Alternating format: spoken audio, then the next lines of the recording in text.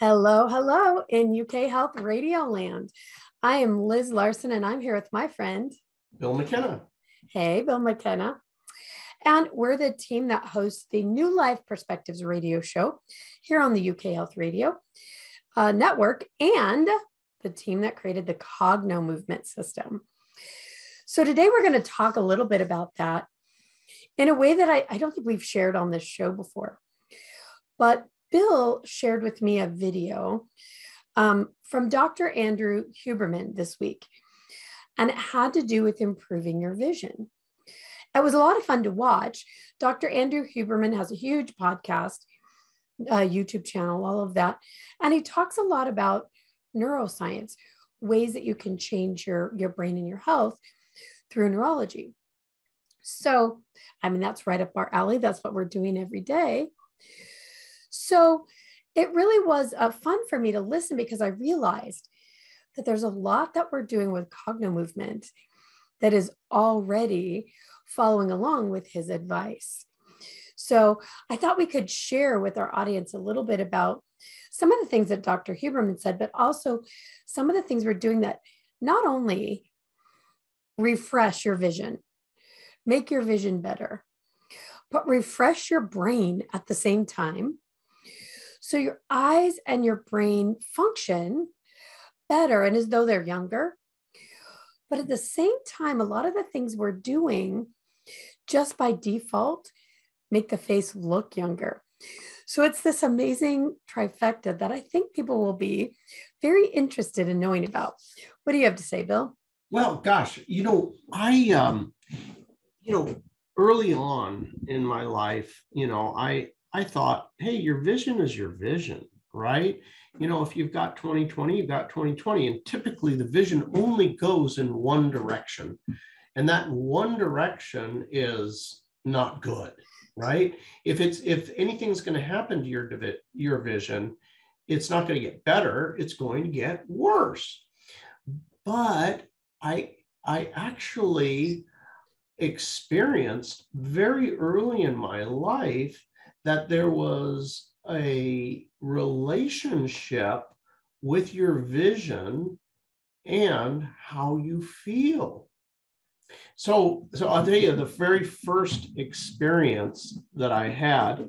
Uh, I started skydiving. I think I was uh, either 18 years old or 19 years old and this is in Otay Lakes, California, which is uh, just kind of east San Diego in uh, United States here in California because this is a global show. And this is back in the day when they had uh, this. I'm showing my age. You remember the World War II type of parachutes, you know, that were round. Nobody uses them anymore, but you know, not, no, nobody uses those. yeah, those big old round ones, you know, like they would use them maybe in Vietnam or something like that big green ones. And they were huge and round. You couldn't control them very good, very slow forward airspeed. So you could kind of wing yourself around to being into the wind so you could land uh, and not get hurt. Um, but I, I took my very, very first uh, jump uh, there. And after I got onto the ground, I was driving home and the area that I was in, you know, it's chaparral. It's it is uh, the southwest, which is kind of dry and low shrubs and that sort of thing. But I noticed my vision had changed. I I I was kind of aghast at the clarity of my vision my vision seemed incredibly sharp and the and the colors were extremely vivid. So i had this this sharpness and the vividness. The colors were so vivid the sunset was just so beautiful. And even the the chaparral and the dirt and everything it was like my gosh it sure is you know wow. It's like who who turned it's like who who uh, who turned the uh, the uh, the sharpness up on the TV here. It's awesome. So that was my very first experience. But but uh, to pref to kind of go back one step, the very first time you take a, a skydiving, for most people in the world, uh, you know, you have some fear of death, right? I'm going to go jump out of a perfectly good airplane. And, you know, you hear about people dying, right? You're literally jumping out of an airplane. Like, is it work? Well, a lot of people have done it. You never done it, but you know, people have died doing this. So uh, here you go, Bill. You know, and so there was this kind of um, buildup, I'm sure, of chemicals, you know, of, of like uh, adrenaline and what have you.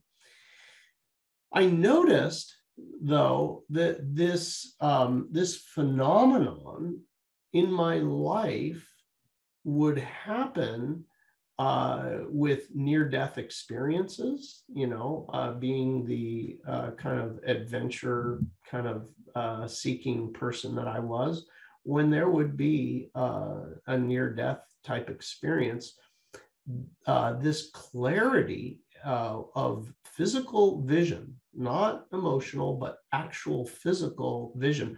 Actually, I should say that that you know looking at at things that are so clear and beautiful certainly makes you feel good but um, uh, this phenomenon uh, also later on after the uh, the discovery of Cognomovement where we release trauma from the person's body you know, we do these Cognomovement is cognitive movement, right? Two words together. We focus on it on, let's say, the trauma, and we have certain um, physical things that we do with a person. It's an exercise, and they experience releasing a horrible traumas from their life grief, guilt, resentment, anger, blame, uh, cravings, addictions, you know, all kinds of things literally just exit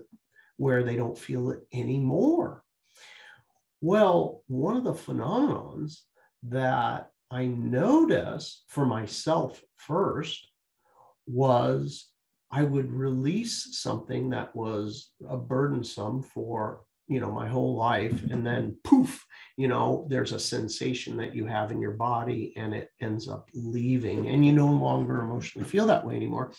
I noticed the exact same visual phenomenon happening. I would look outside and i was like oh my gosh why are the why are the trees so beautiful? What what happened? It's so green so beautiful.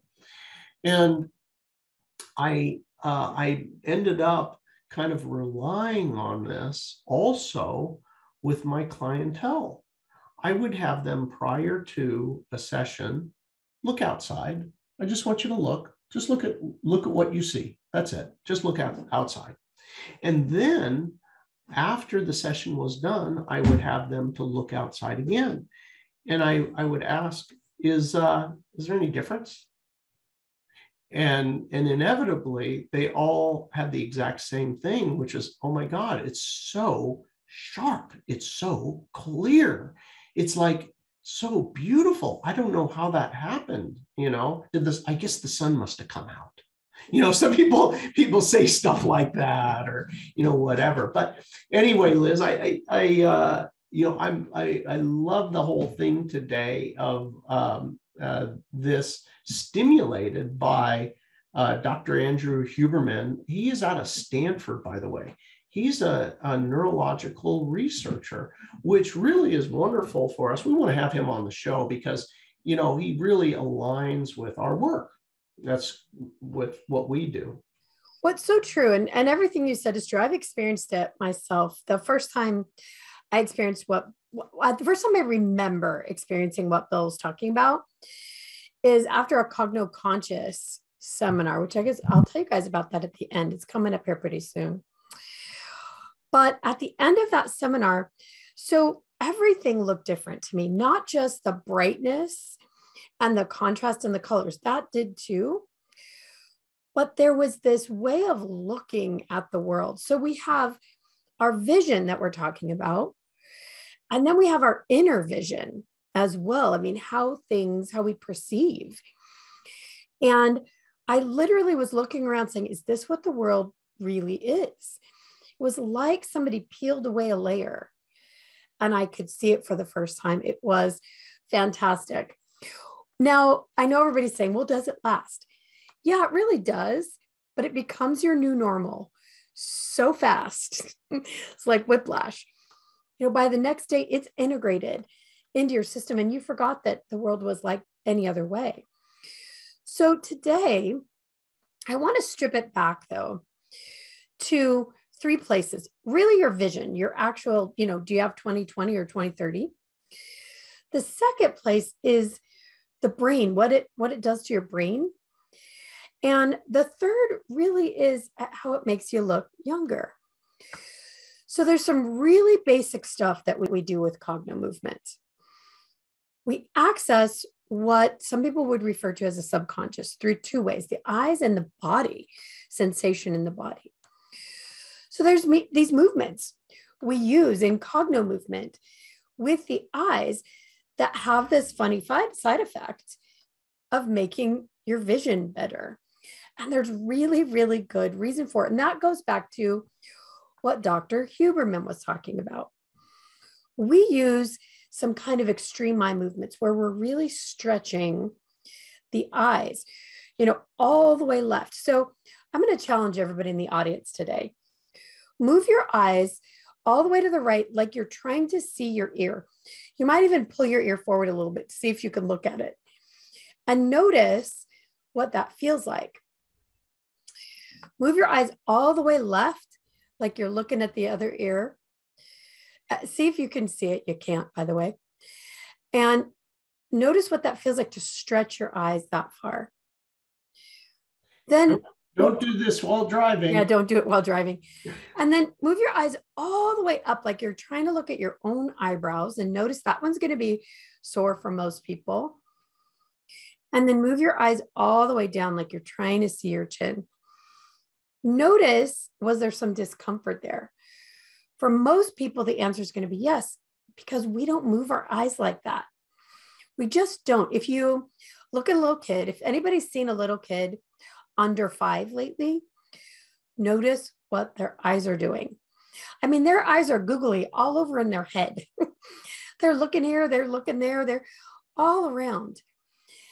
But what most of us don't realize is they're accessing all the areas of their brain this eye movement is so important to the growth and development of the brain because they're accessing the files of their brain through their eyes. So as they learn, the eye movement places the memory or the learning in different parts of the brain, which is so fantastic because later on in life, when we're trying to do things like remove trauma, like Bill's talking about, we can reaccess that part of the brain through the eyes. Okay, so I don't want to go down that rabbit hole because it's fascinating too, but really, your eyes just start, stop moving in these uh, really the extreme places as you get older.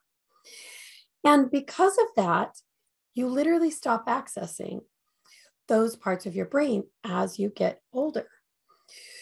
So not only does your vision start to decrease, but so does your ability, your, your vision, vision, your inner vision, so does your ability to see new perspectives.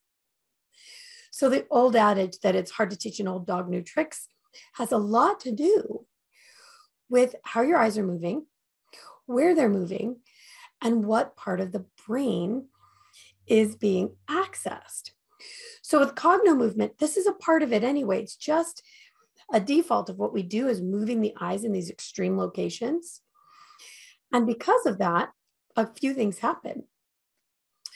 You your vision improves. I'll we'll share about more about how that happens in a few minutes. Your brain improves. You get smarter. It's like somebody power washed your brain. and you look younger. So we need to take a quick break. And in the next segment, we'll actually break that down why that's actually happening, what's the function of it, and how you can actually do some of it now. So let's hear from the UK Health Radio.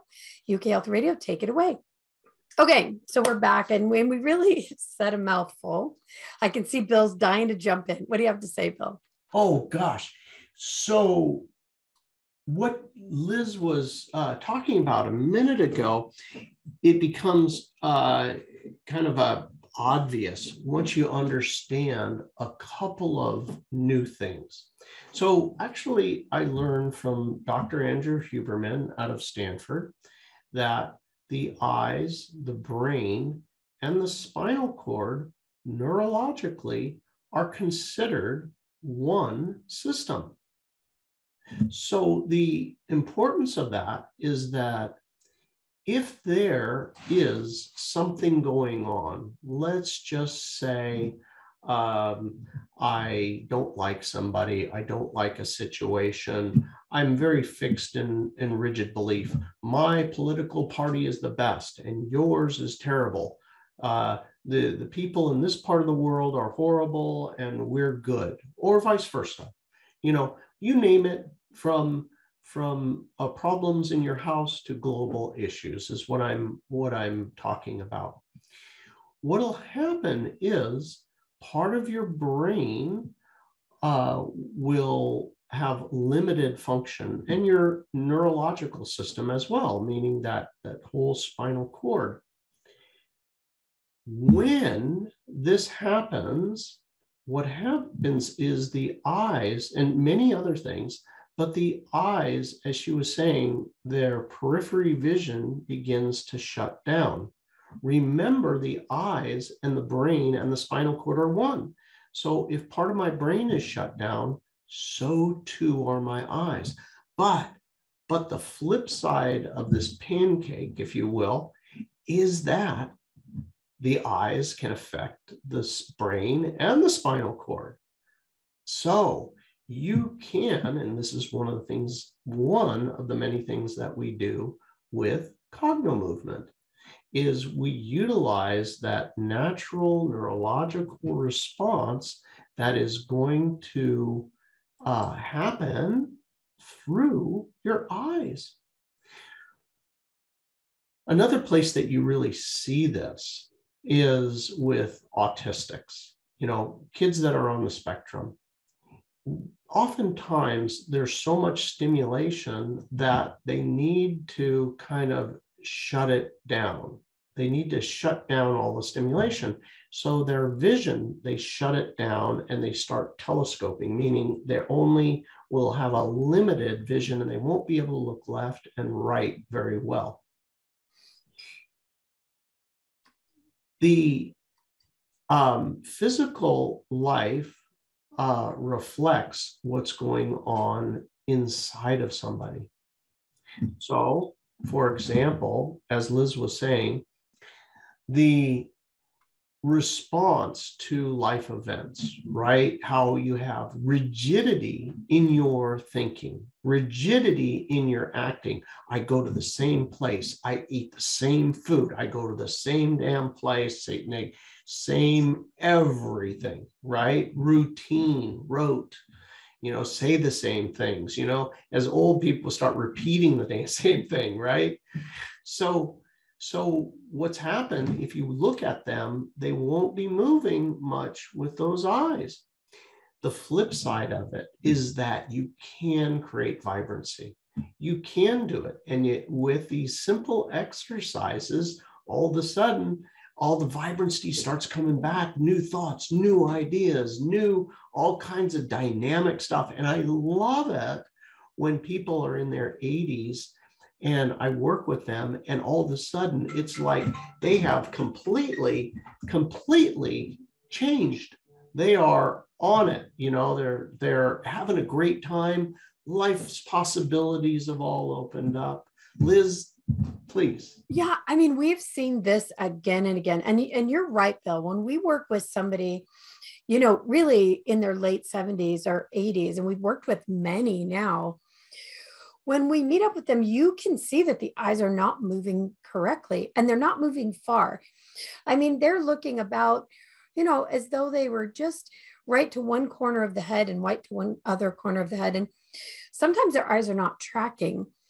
We can actually see, even if there's a brain injury, with the way the eyes are tracking. But more than anything, it's just this rigidity that you're talking about.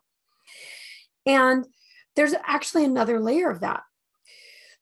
As we get older, and this is really a function of the nervous system just keeping us safe. Like you said, we go to the same places, we say the same things. All of that didn't kill us yesterday. So the nervous system is going to keep us in that pattern for today. So, what also happens is a person will get stuck in one part of their brain. That repetitive pattern will be that they're either on the left or the right generally, and they're stuck in one and they don't have access to the other. And you'll see it in the in the things they talk about, the things they want to talk about, and that repetitive nature. And you know that repeating things happens sooner than later. Yeah. we'll see it. And it's kind of fun and interesting. We'll have a person telling us about this big problem in their life. And you notice that their eyes are only moving on one side of the head. I think I've told the story before of a guy who was a, a, a creative person. He was a, a web designer, website designer. And anytime anyone would ask him to wing it to get creative, he would freak out, like literally go into shock and anxiety. And all it was that his eyes were stuck in the position that only accessed his left brain. He was only in the linear. All we had to do was get the eyes moved to the other side, get the right brain involved. and his creativity went crazy. So, and he's a young man. So it can happen to us for many, many, many reasons. But if you find yourself stuck, and so many people talk about being stuck, don't they, Bill? Oh, yeah. Moving your eyes can be the answer. It's that can be that simple. So you can see where we really do uh, get stuck, where our perspectives and our perceptions start to get limited, limited, limited. So let's share with everybody one thing you can do right now as long as you're not driving.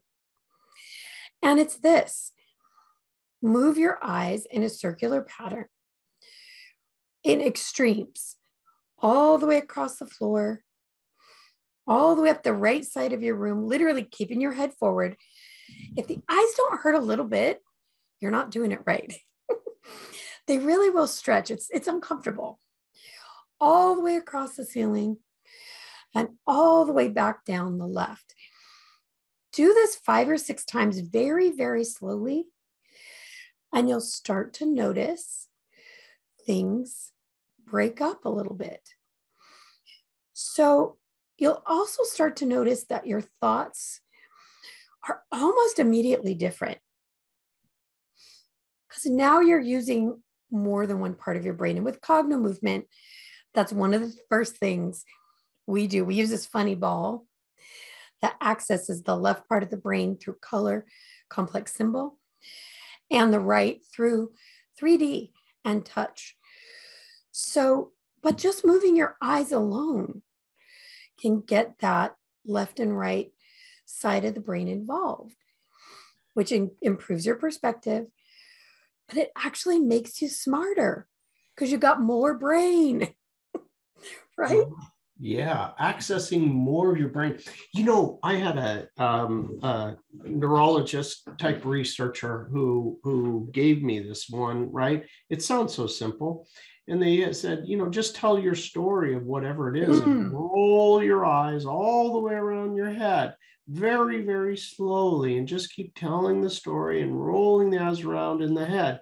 You just keep telling the story and rolling the eyes. And, and uh, many, many years ago, I remember uh, doing this and um, and after I did it, I was here. This is the strangest thing.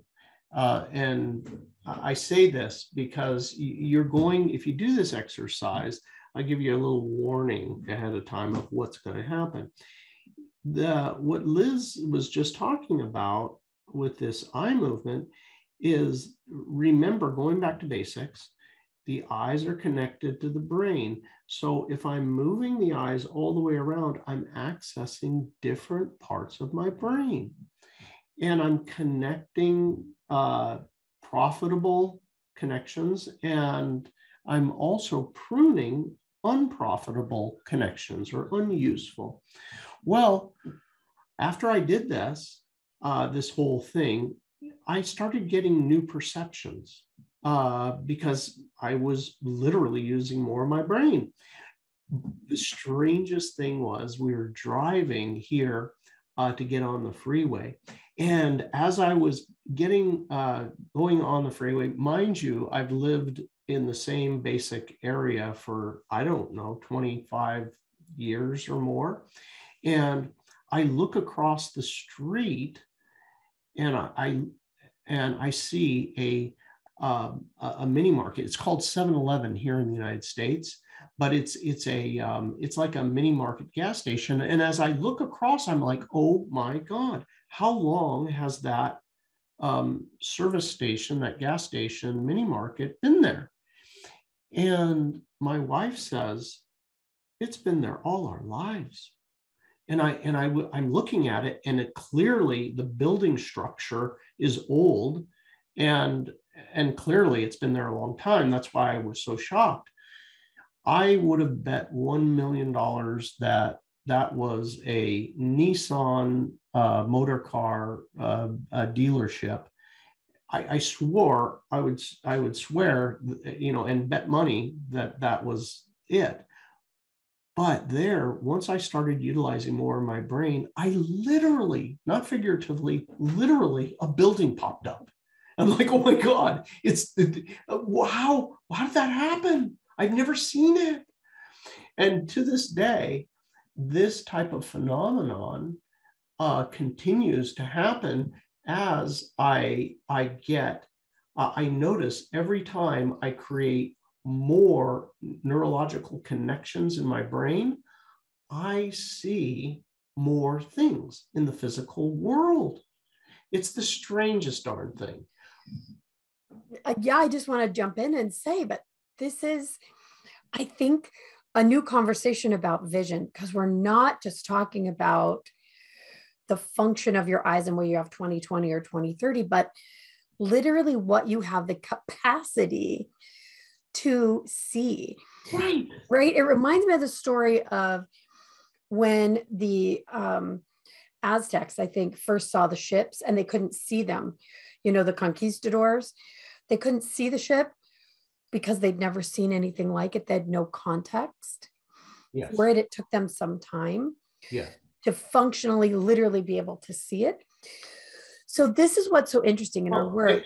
But hold on, tell the rest of that story. It was the shaman of the of the uh, Aztecs that could see the ship.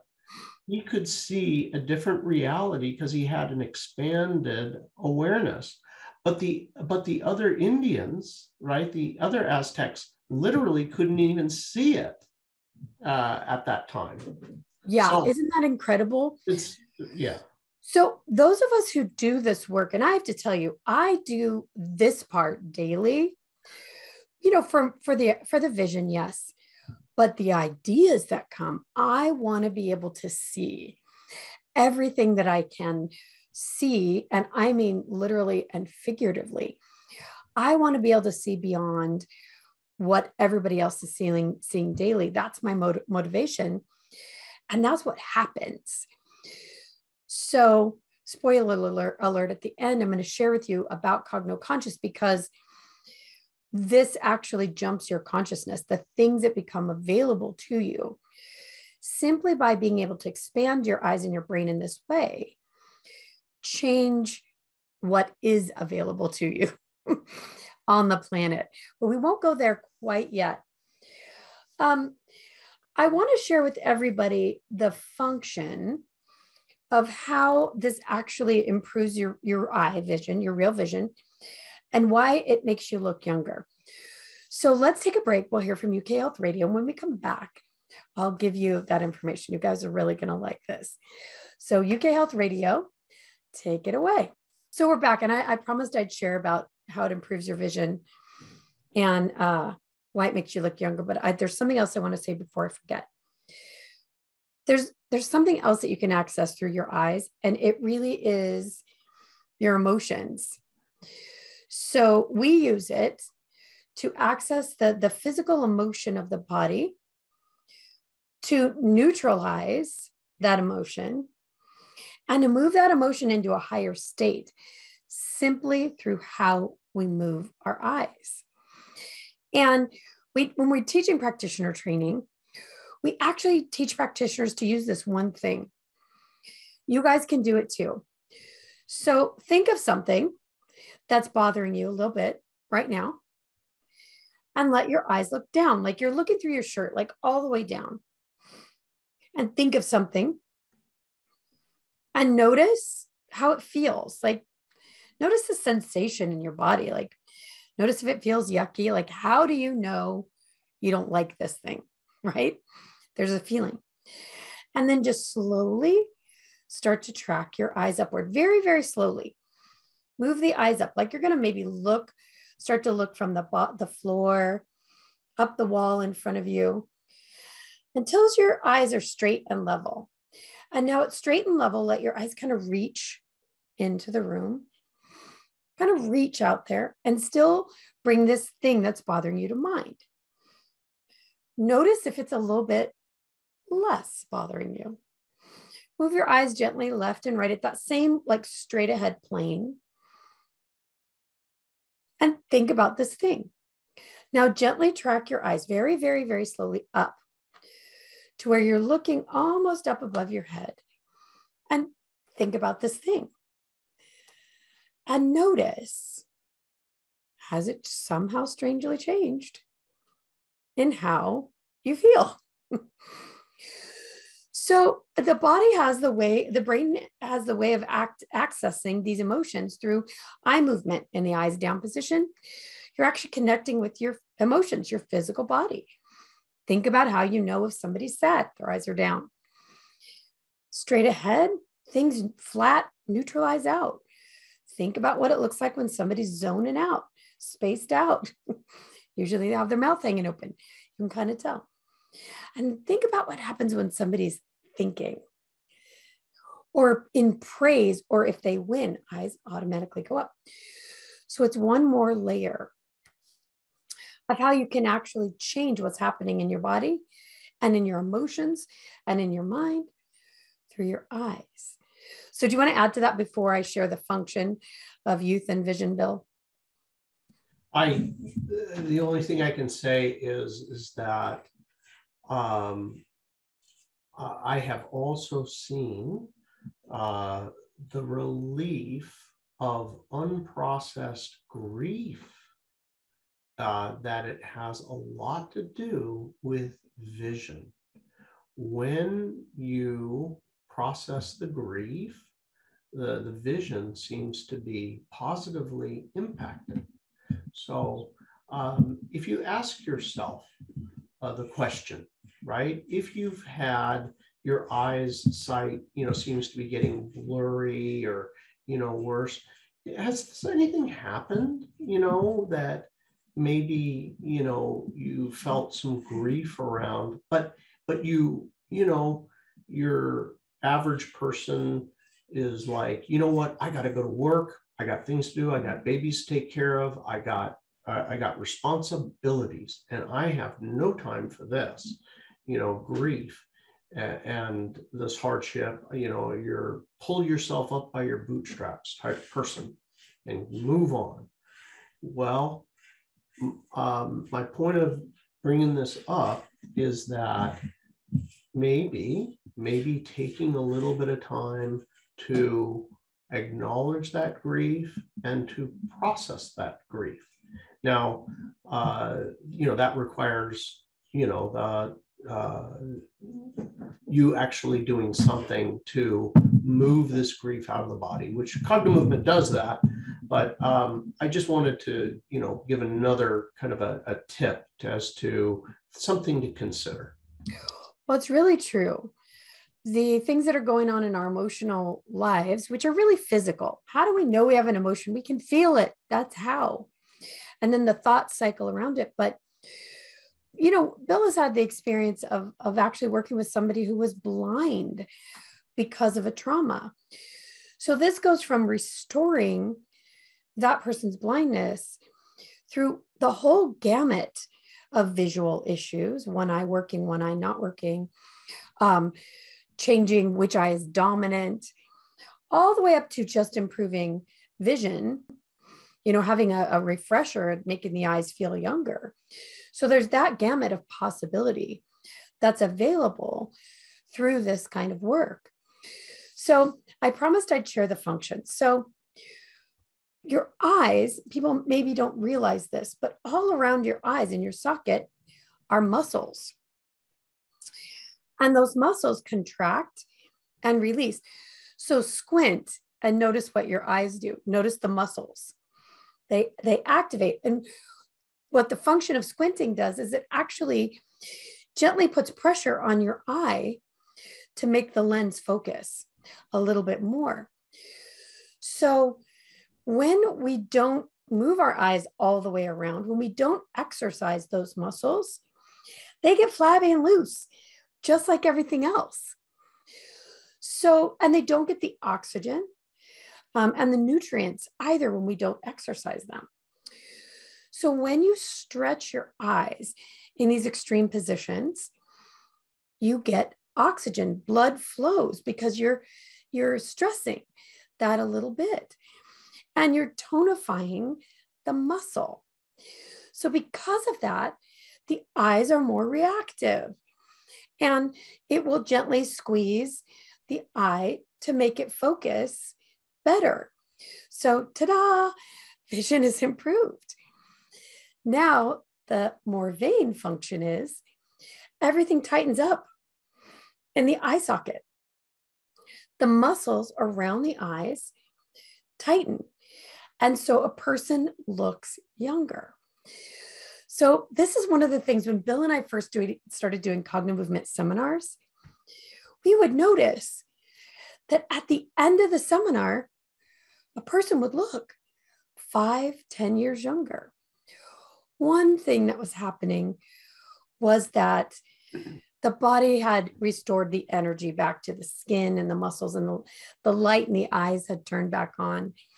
Skin had begotten started to get plumper. That's just a function of when trauma is released the body has more energy. You look more vital. But bigger than that well really not bigger than that also the eyes had gotten a lot of oxygen and had been refreshed and plumped up. So right around that that that place, a person looked better, and they report their eyesight actually being better. So when you do this on a regular basis, like a lot of Cognomovement um, users are doing, you know, that daily five minutes to get the ideas and inspiration going, to get both sides of your brain functioning and back in the game, you naturally have more and more tonified muscles around the eyes. And so vision um, is better and you look younger. So that's that's the function. That is awesome. Isn't that great? Yeah, that is great. And um and you know when your vision sharpens, you're going to find yourself with more energy. People literally you get tired when you're struggling to focus. If you find yourself struggling, you're tired, there's, a, there's an interesting phenomenon that can wake you up. And this one is, is just as simple as raising up your eyebrows and looking up a little bit, just a little bit, 45 degrees up, but raise your eyebrows raise your eyebrows, your forehead up, and watch. You're, there's somebody in the world right now who's listening to this who's a little bit fatigued. Just raise up, like furrow your eye, your forehead, raising up your eyebrows and looking up a little bit. If you just do this for maybe, who knows, maybe a minute or so, you're going to find it's like, oh my gosh, I just drank two cups of coffee. I'm fine. I can keep going. You know that feeling where you're, when you do get tired, that the eyes get heavy? They literally feel your eyelids are like, oh, my eyelids are heavy. Well, just do this and literally, neurologically in your brain, it'll wake you up. It really affects your brain. Well, that position is a really good one if you want some ideas and inspiration as well. The eyes in that up position connect with the part of the brain that has the ability to have ideas and inspiration. So, this is one I use a lot. You know, you just move the eyes in that up, same up position that Bill's talking about, and kind of move them left and right across the ceiling. Layer on some breath. If you guys are doing this and you'll layer on, on a deep breath, you'll get that extra oxygen to the part of the body that you're stressing just a little. That's how it works. So, you know, layer that on. You will feel refreshed. You're going to exercise your eyes, but you're actually accessing ideas and inspiration. The other thing is if you've forgotten something, if you're trying to find a word or remember something, lots of times if you roll your eyes upward and then try to remember it, you'll access it very, very quickly. It's that's a, a really good old trick. But it just feels good. And we don't do it. When when Bill and I work with people in person, it's the one thing that we notice. People who are in fight or flight, in grief, you know, in a, a, a, trauma in their body all the time, or have a head injury or who are older, their eyes don't want to move up not above that neutral state. They, they don't want to move into that up position. It's very uncomfortable. And you'll notice that there's a pulling, you know, the eyes will dry out. They'll want to close. They feel heavy. They just don't want to go there. So we know when we see that, that there's this huge capacity for change in just getting their eyes to move into that up position. Now imagine if you're one of these people, try rolling your eyes up now. If they don't want to go, we're talking to you. Notice that stretch. If you do not have the ability to access ideas and inspiration in your own body, you're not going to feel inspired or creative or motivated.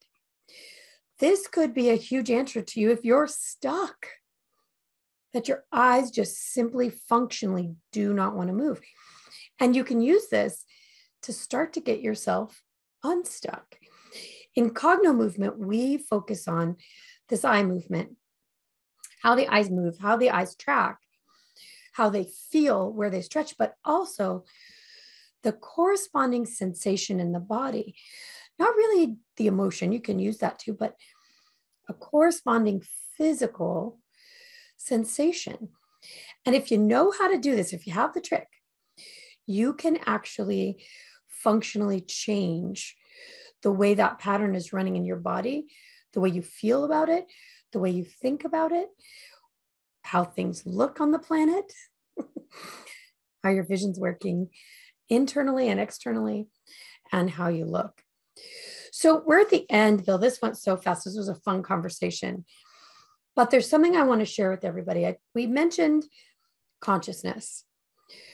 So, what do we mean by that? We mean that um, literally the availability, the awareness of you have that you have of the world around you, the insight that you have into yourself and to you know how the universe works all adds into this consciousness and like i said you know the first cogno conscious that we did my awareness jumped exponentially, and so did everyone else at that conference. The world looked different. How we perceived our lives were different.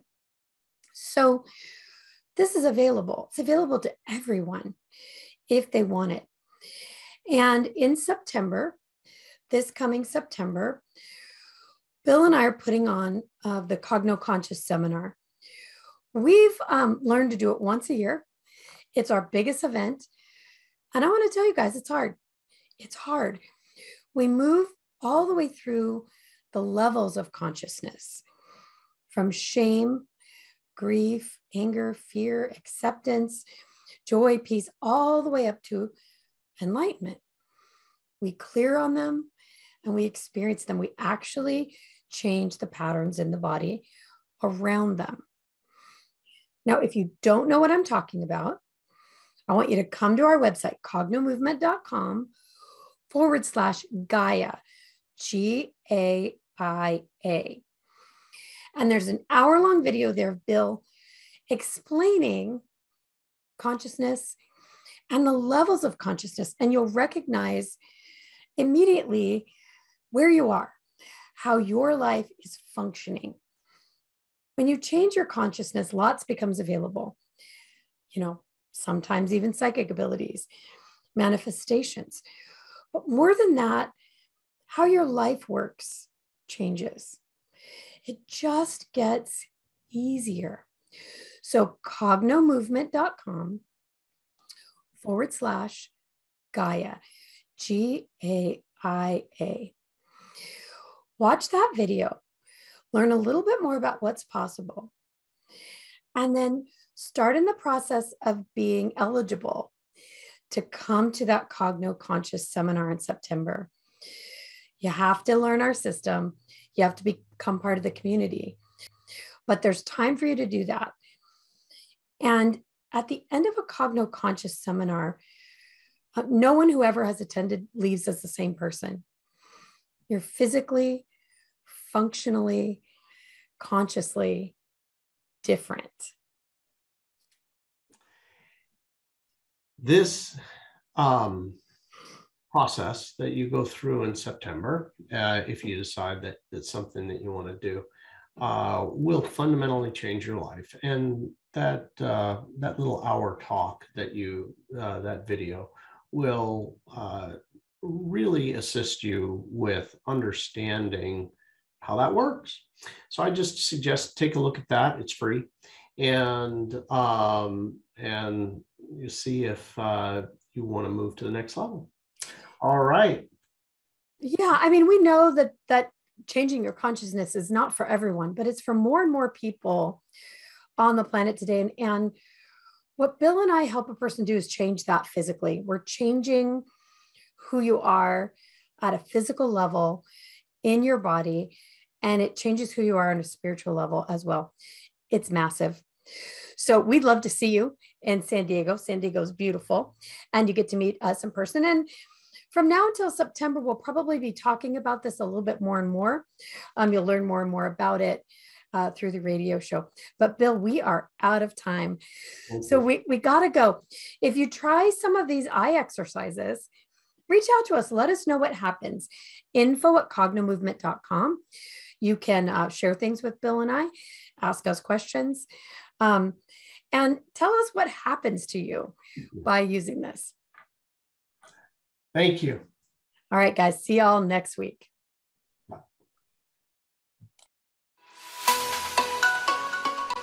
Thanks for being here with us on the New Life Perspective radio show.